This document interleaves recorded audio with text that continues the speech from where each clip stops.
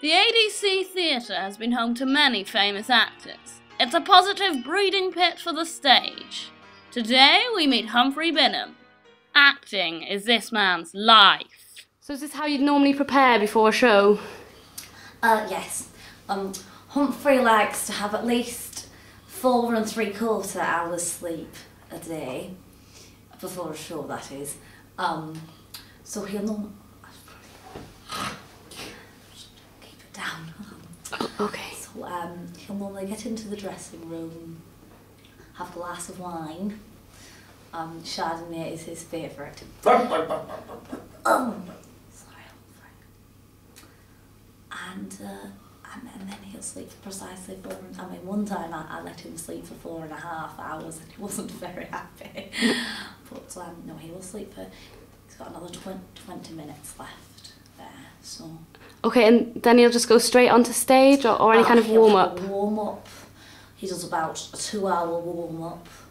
Um, very physical.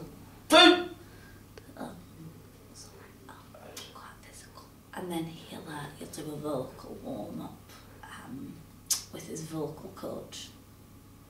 Right, so he gets into the theatre about six, six hours then before the show. Oh yes. Well, I mean Humphrey doesn't really leave the thing. Humphrey likes to say an actor should not go to bed before one or get up before one. so he's very rarely sleeping in a bed. He likes to sleep in the theatre. What, what do you get out of kind of this job with Humphrey? How, how do you kind of feel about it? Wow. Well, what does one get out of the world? You know, uh, I suppose if we were talking about intrinsic job value, Pam gets a stern leader, she gets somebody who pays her Yes. financially. If we're talking about external job satisfaction, then uh, I, I suppose uh, sh- she wears nice clothes sometimes, which is paid for by me. Yes. So, uh, but you know, it, it's not a hard life. Okay, so Pam, do you ever think of leaving um, and working for someone else in, a- in a similar role? Or Well, Why leave a thriving business? That's what I would say. Time is of the essence, and you know we only live for for you know two two three hundred years, and you know we, we must remember that we must use that time as best we can. You know, and and for me it's all about the quickness. It's about efficiency. Pam, for instance, will take a list. If I if I make a list now, she'll take a list. So I want one steel rod, twelve pink flamingos, a couple of white lilies dyed green. Yeah. I want red wine iced. Uh, I want three men with bowler hats, and I want them all tilted at different angles. Uh, I'd like a small, small pair of jodhpurs yes. for a dog yes. That looks like a cat. Yes. You see? And she will do it for me. So show them the list, show them the list. Yes. um, that is the list. right, One of the many difficulties of uh, the theatre is in construction. Uh, bringing things together, various tools are needed. Uh, timber, woods, materials are all needed for things like set, props, costume, you know, facial expression. Uh, we need all of these things to, uh, to aid us in theatre, and uh, uh, we're going to have a look now at some of them. Uh, through to the workshop. It's a very dangerous area, I must say, so I must insist that Pam, my lovely assistant, uh, not come. Not come.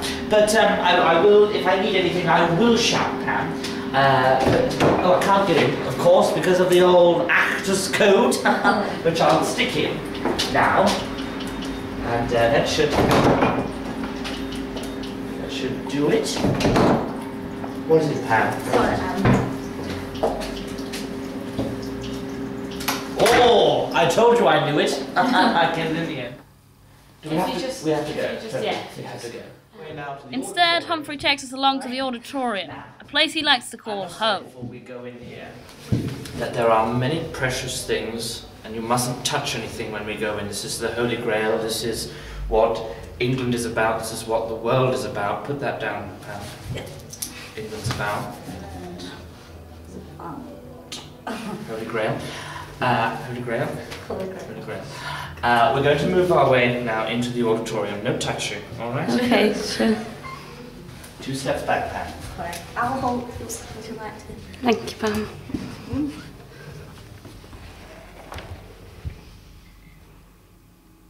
Here we are. Theatre. Uh, I, I think this auditorium was built around 1650. It's, it's an old one. It's an old boy. It's an old boy. Get that down. So perhaps it's best that we now move through to the stage itself.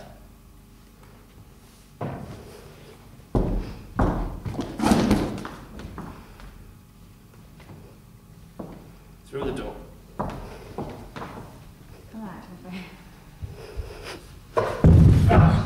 Oh, oh, God. Oh, oh Humphrey! Oh gosh, Humphrey, you alright? Are you okay there?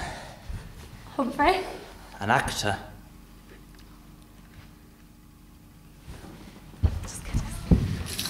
Humphrey, please. This is the set of my current play here at the ADC. What I'm going to do for you now, I'm going to give you a little treat for all of those who haven't seen it, and for those of you who have seen this marvellous play I'm in, uh, then you'll just be able to enjoy it again.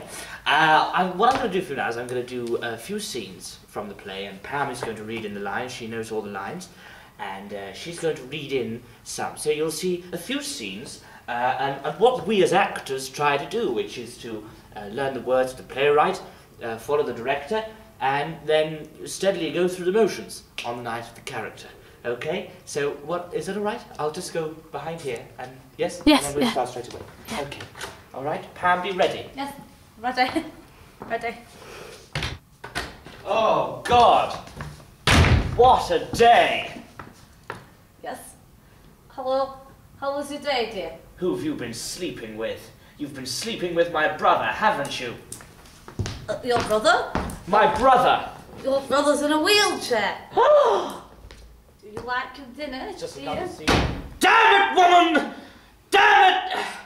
That's just another scene uh, from the play. I think we've got about enough here. I don't give you too much. So perhaps uh, it's best if we move through to the bar, uh, which is a very important part of the theatre. It is a part of the theatre where the audience must drink.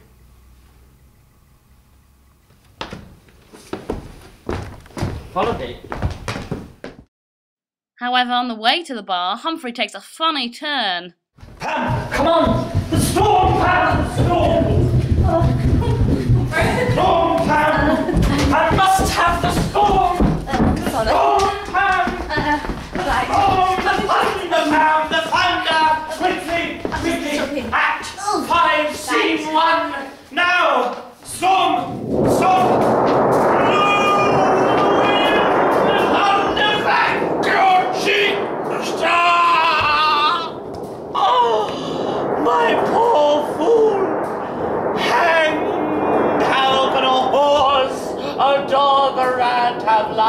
And she no breath at all? Humphrey? Humphrey? So, when will you be getting the things that Humphrey's asked for on his list? No, I won't be getting anything on the list.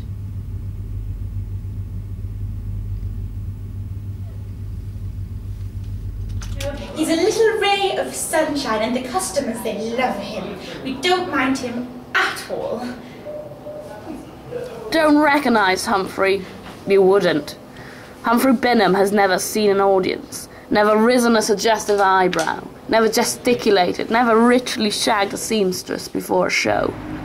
Simply put, Humphrey Bingham has never done an act on the stage. This is David. He suffers from obsessive compulsive theatrical psychosis.